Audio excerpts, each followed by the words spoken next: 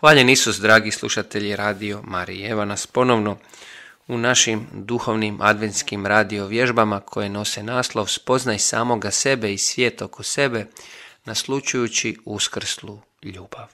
S vama je pater Hrvoje Mravak, učitelj Isusovačkih novaka. U ovom današnjem trećem danu naših duhovnih vježbi proveli smo vrijeme s krepostima, zapravo osluškujući iznutra Isusovo srce, njegove stavove, njegova raspoloženja, njegove osjećaje, ostajući ondje gdje smo više privučeni, gdje nas je više nešto dotaklo i samim time malo pomalo upijajući po Božoj milosti te njegove stavove i postajući slični Isusu. U razmatranju prije ovoga usluškivali smo Isusova pitanja kojim on dirao i danas dira srce svojih učenika. Sada krećemo u takozvani treći tjedan duhovnih vježbi, a to je Isus nas pita i poziva hoću li s njime u njegovu muku. Ovaj poziv nije za svakoga, nije svatko pozvan ići s Isusom u njegovu muku u ovim razmatranjima. Nego onaj koji je već razmatrajući Isusovo srce u drugom tjednu duhovnih vježbi, neki način malo pomalo postao intiman, blizak Isusu i sada osjeća da želi ići korak dublje. A to je u njegovu muku. Daćemo jedan uvod u gospodinovu muku, jedan ključ čitanja nje, a nakon toga ćemo ukratko, a vi to možete onda sami još produbiti, proći kontemplaciju posljednje večere iz Ivanovog evanđelja 13. poglavlje. I upravo u tom evanđelju kaže sveti Ivan da nitko nema veće ljubavi od ove da da svoj život za svoj prijatelj.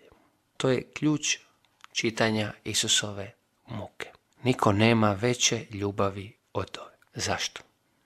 Pa zato što samo ljubav može patnju i smrt pretvoriti u žrtvu.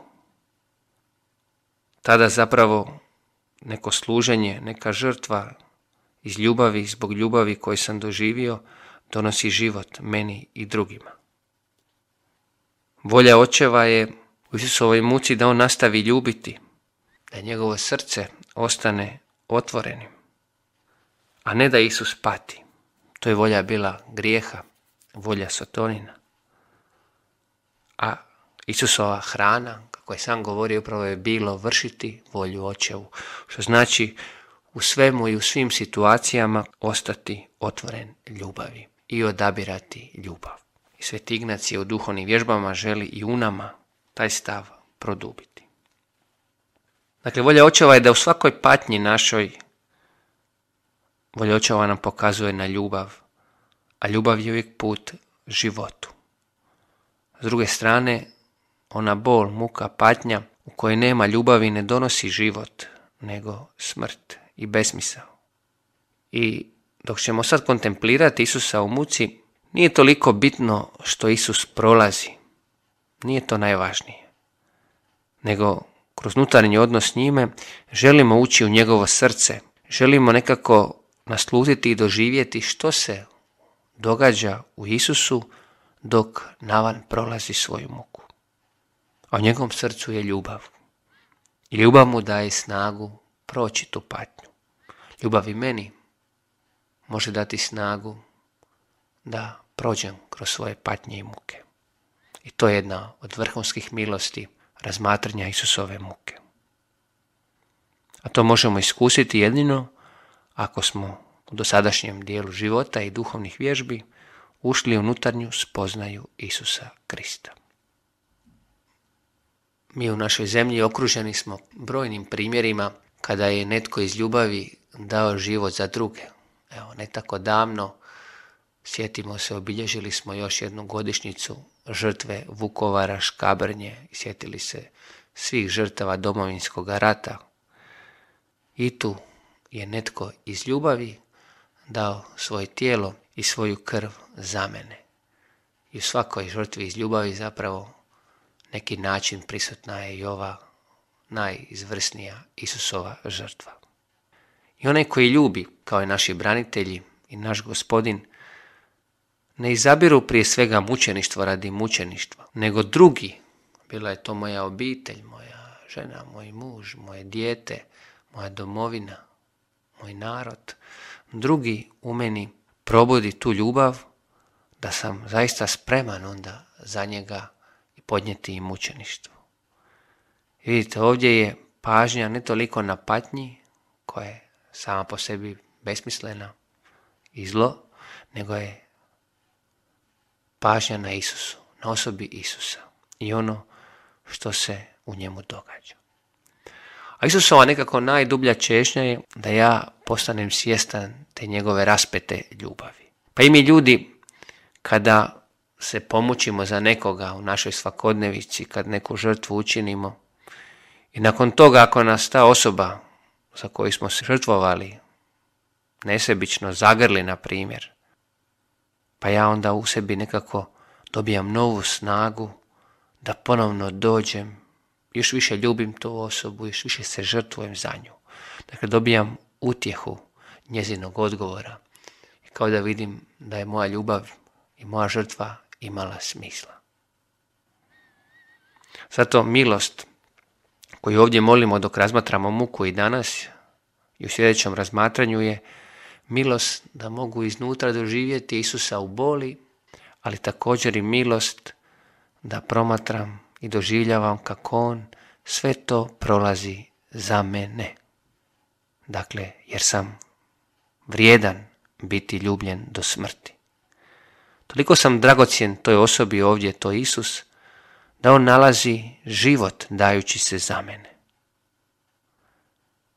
I kada te ljubim, kaže Isus, najveći dar koji mi možeš dati je da mi dopustiš da te ljubim, da prihvatiš tu ljubav, da ostaneš sa mnom koji te ljubim sa svoga križa. I to ostajanje s Isusom podno križa, čak i mojoj bespomoćnosti, ne mogu ništa napraviti za njega, to je već dio milosti za koju ovdje molimo u razmatranju muke gospodinove. I ako uspije mući u to promatranje i kontemplaciju i molitvu Isusove muke, to znači da već pripadam uskom krugu Isusovih prijatelja koji idu za njim u dobru i u zlu, kao što smo to neki način rekli u razmatranju kraljevstvu Kristovu. Jer oni koji ljube i tekako odabiru koga će pustiti u svoju patnju, kao i mi. I biti bespomoćan podno Isusova križa i u njegovoj muci, ne moći ništa učiniti za tu osobu, kao što i dan danas gledamo ljude koji pate oko nas u cijelom svijetu i kod nas i ne možemo često ništa učiniti.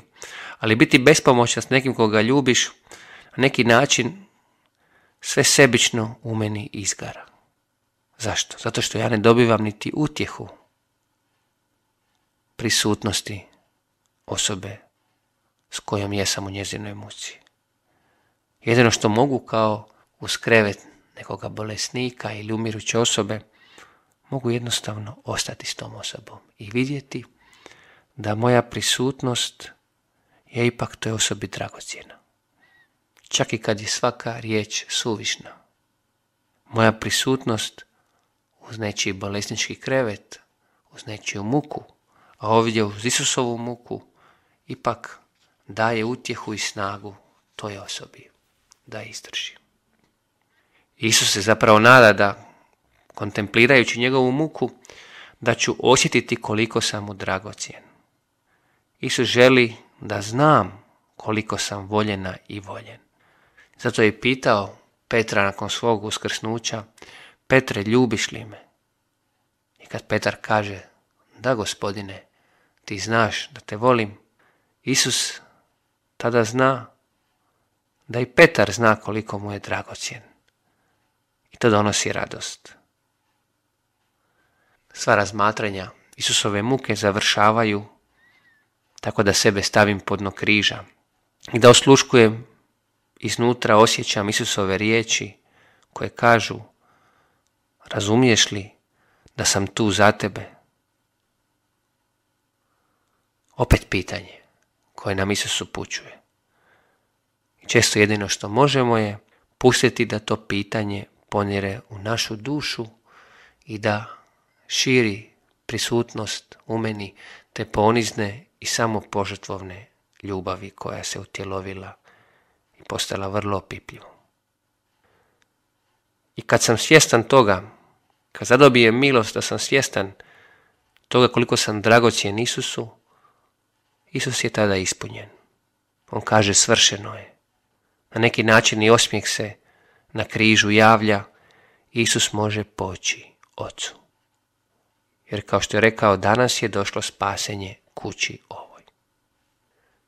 I nemojte se bojati ako se u vama još uvijek postoje razno razni egoistični zidovi koji se opiru prihvaćanju te ljubavi, koji zapravo lažu i govore ti da nisi vrijedna i vrijedan te ljubavi. Uvijek s time dođi gospodinu. On će te najvjerojatnije usmjeravati uvijek prema svojoj utjesi, prema svome srcu. A sad ćemo, nakon ovoga uvoda, jednog od mogućih uvoda Isusovu muku, zajedno kratko proći točke kontemplacije posljednje večere. Tu je sve počelo.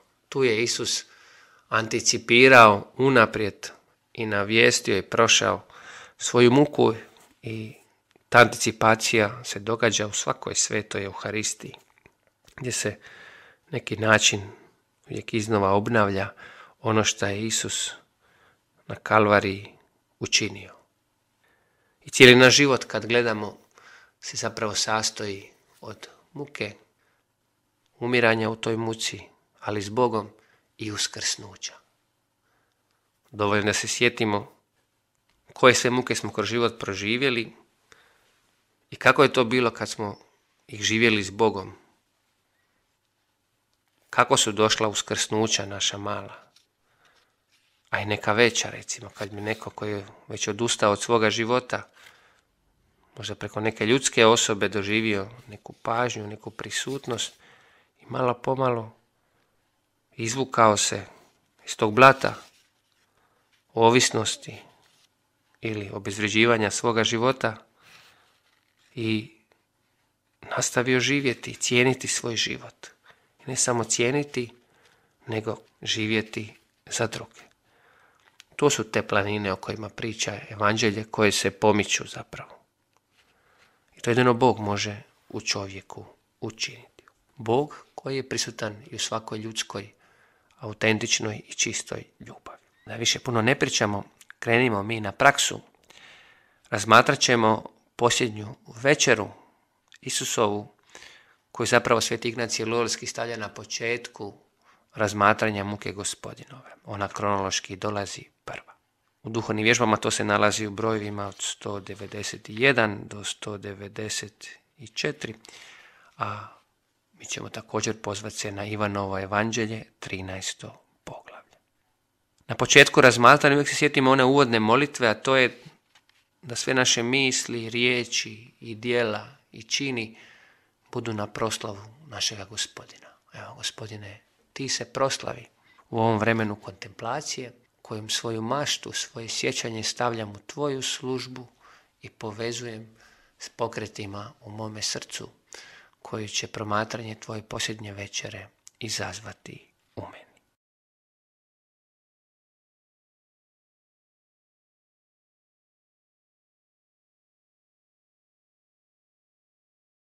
Prva nekako predvježba je da se sjetimo što je prethodilo posljednjoj večeri i što se na njoj dogodilo. Onako, panoramski pogled. Pa evo, sjetimo se da je naš gospodin Isus iz Betanije poslao dvojicu svojih učenika u Jeruzalem da priprave tu posljednju večeru. A poslije je sam im se pridružio s ostalim učenicima i s njima je dakle blagovao vazmeno janje i pošto večera oprao je noge svojim učenicima, dao im svoje presveto tijelo i krv, te im izrekao govor. Pošto je Juda izašao da proda svoga gospodina. Evo, dakle ovdje u jednoj minuti ili manje zagrijavamo nekako, sabiremo našu pažnju. Ako treba i više puta čitamo Ivanovo evanđelje 13. poglavlje, i prolazimo sve što se dogodilo malo prije posljednje večere i na samoj posljednjoj večeri. Dakle, iz Betanije, koja je u blizini Jeruzalema, šalje Isus svoje učenike da priprave večeru, organiziraju dvoranu i tako dalje. A poslije on sam dolazi, zajedno blagoju vazmeno janje, koje je zapravo Isus. Isus im u jednoj intimnoj atmosferi pere noge, što je zapravo posao roba svome gospodaru. Dakle, Isus se čini robom, te neki način prvi put pričešćuje ljude svojim presvetim tijelom i krvlju, a da ga još nije ni darovao. To će uslijediti nakon te posljednje večere. To je prva predvježba. Druga je predvježba da sada u svojoj mašti nekako zamislimo mjesto gdje se ovo sve događa. Tako možemo ovdje promatrati put kojim Isus prolazi od Betanije do Jeruzalema. Je li taj put u mojoj mašti širok ili je uzak? Je li ravan ili brdovit? Isto tako gledat ću dvoranu u kojoj se odvija posljednja večera. Kakva je to dvorana? Je li velika, malena, onakva ili ovakva? Dakle, zamišljam to i neki način zagrijavam svoju maštu po kojoj će me duh sveti, kome i predajem tu svoju maštu, tu svoju unutarnju moć, voditi u daljnje korake ove kontemplacije Isusove posljednje večere.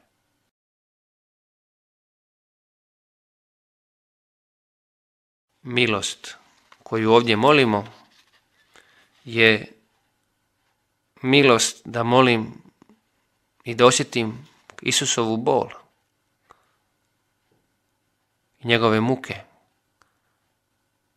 i da osjetim i doživim da sve to on podnosi za mene, jer sam mu dragocjen, kao što su i naši branitelji prolazili to za nas. I sada krećemo u samu kontemplaciju, koristimo oči naše mašte, nutarnje oči, zatim koristimo naše nutarnje uši i tako dalje, sva osjetila.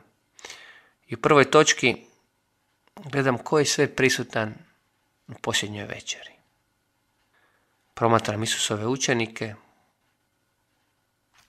promatram i slušam o čemu oni razgovaraju. Isus je već više puta u danima koji su prethodili posljednju večeru navijestio svoju muku i donekle ih je zbunio.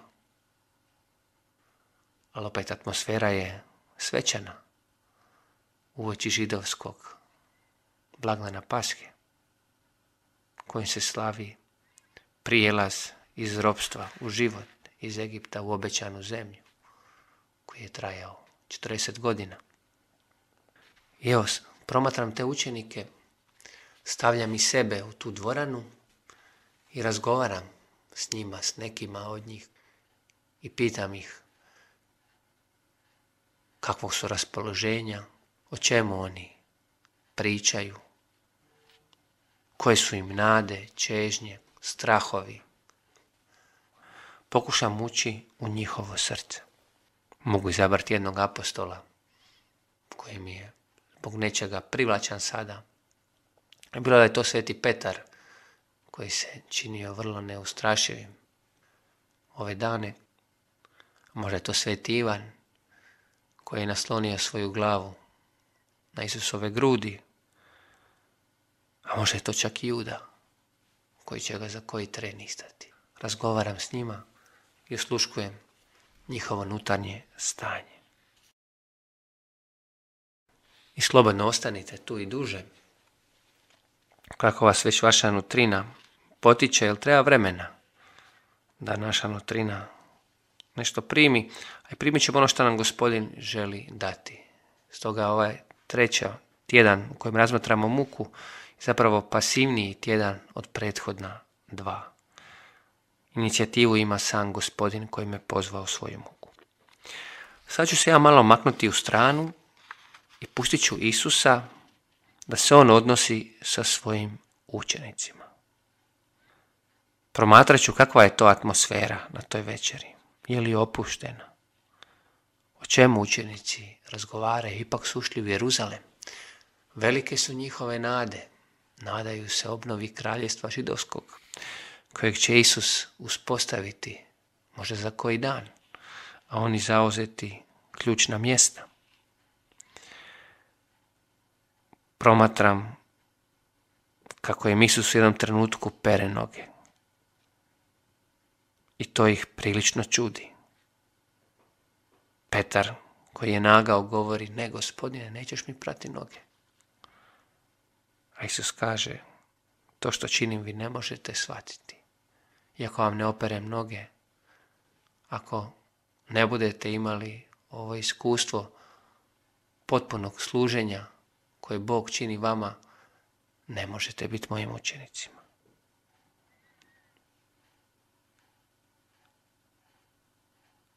Promatram Isusa, njegov pogled kakav je, njegove osjećaje dok to čini.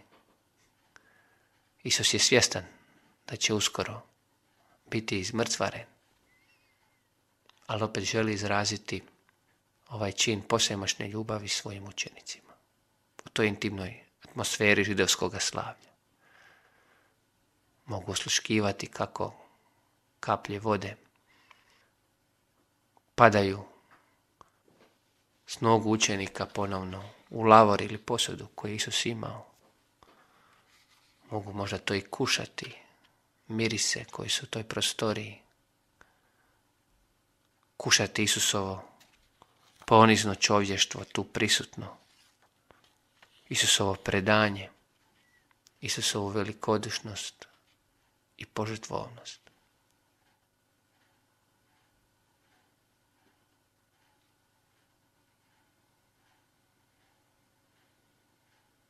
Ostajem s onim što me najviše dotiče iznutra. A nakon pranja nogu, gospodin čini prvu Euharistiju. Ovo je tijelo moje koje će se za vas predati. Ovo je krv moja koja će se proliti za vas. Isus je dao sve. Promatram, kušam iznutra, sluškam tu atmosferu koja se ovdje događa. Koliko su učenici uopće bili svjesni šta se događa. Oni koji nisu željeli Isusovu muku i smrt. A ja upravo na toj posljednjoj večeri njegovo tijelo i krv se daju i prolijevaju za njih. Evo, promatram i tu scenu. Promatram Isusa prije svega, njegove osjećaje, pokrete unutarnje, stavove. I ostajem ondje gdje mi nešto više govori, gdje doživljavam veću privlačnost. Ili pak odbojnost. I slobodno ovdje ostanite, kogo treba, nemojte žuriti. Nije toliko važno da sad vi doživite neke velike osjećaje, nego je važno biti prisutan. Jer nekad i milost, kontemplacija Isusove muke je baš doživjeti i sam poneku muku, poneku suhoću. Ali evo treći zadnji korak ove kontemplacije je sada da ja sam ostajem s Isusom. Možda i meni Isus pere noge. Hoću li mu to dopustiti? I predavnom Isus pretvara kruh u svoje tijelo, vino u svoju krv. Promatram to, osjećam to, kako to čini za mene, kako bi mogao ući u njegovo kraljevstvo, u apsolutnu ljubav i razgovaram s Isusom kao prijatelj s prijateljem, kao učenik sa svojim učiteljem, kao sluga sa svojim gospodarom. Razgovaram s Isusom onome čime sam dirnut. Šta me ovdje najviše dotače? Šta me možda sablažnjava? Možda sam i ja se sablaznio na navješta Isusove muke. Možda razgovaram o njegovoj izdaji, a najviše možda o njegovoj ljubavi. Pa ga pitam, kako to, gospodine, zašto? Evo, ostajemo sami Isus i ja. U toj intimnoj atmosferi posljednje večere.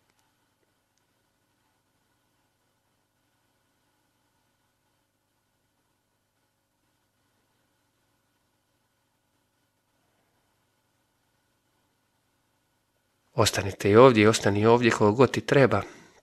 I na kraju napravi osvrt.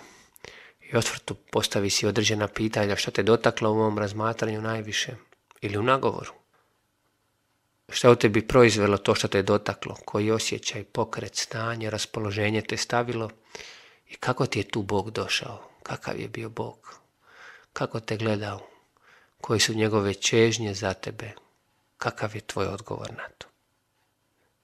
Evo, ostavljam vas s gospodinom same, dakle nikad niste sami, pa i u svojoj najvećoj muci. I nastavit ćemo ove duhovne vježbe s razmatranjem još malo muke u sljedećem našem susretu, a zatim, kako je sam naslov ovih duhovnih vježbi stoji, naslučivat ćemo malo pomalo Isusovu uskrslu prisutnost. Kako ulazi u naše zatvorenosti, u naše strahove. I zatim taj dar Duha Svetoga, dar njegove ljubavi koji nam daje za svakodnevni život. Sve nas to čeka u sljedećim razmatranjima ovih duhovnih vježbi koje nose naslov Spoznaj samoga sebe i svijet oko sebe, naslučujući uskrstu ljubav. A s vama je pater Hrvoje Mravak. Hvaljen Isus i Marija.